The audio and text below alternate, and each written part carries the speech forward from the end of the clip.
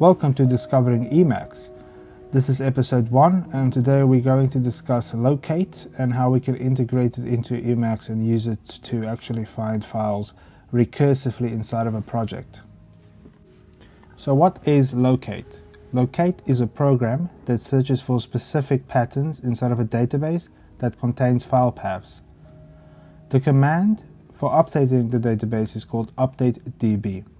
Once the database has been generated, you can use locate to find all matching file paths inside of the database. It does this almost instantly, making it a great choice to find files inside of unknown locations. All you need to do is run locate and your pattern to find matches. You can also make use of shell globbing and quoting characters to help narrow the results. On Linux, you should be all set, but if you're on Mac, please consider installing findutils via brew, instead of trying to use the default locate and updatedb commands.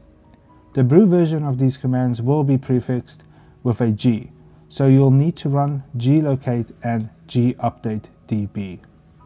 Using locate in combination with Emacs. Emacs already has a command named locate, when running this command, you can pass it a string and locate will then look through the database for all the matching paths and lists all the results in an Emacs buffer. The buffer also features some additional functionality, but we won't be covering that today. This can obviously save you time when you're looking for a file but can't remember where it's located.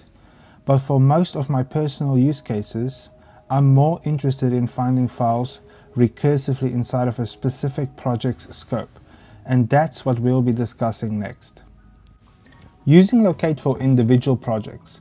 There are many ways you can go about configuring Locate in and outside of Emacs. The following is what I came up with, but feel free to experiment and come up with better solutions. First, we don't really want to generate a database for our entire file system. So we can configure Locate to generate a database just for the folder containing our projects we will write an Emacs Lisp function that calls updatedb with two arguments. Local paths that specifies the folder that contains all of our projects, and output that specifies the location of our database file. In addition, we also need to create an environment variable that specifies the same database path, named local path. We can do this inside of our .emacs configuration file.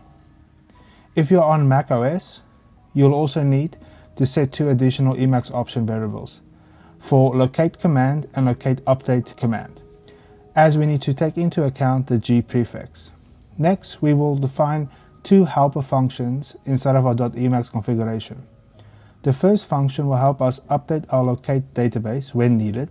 The second will help us automatically filter the results based on the project's root folder.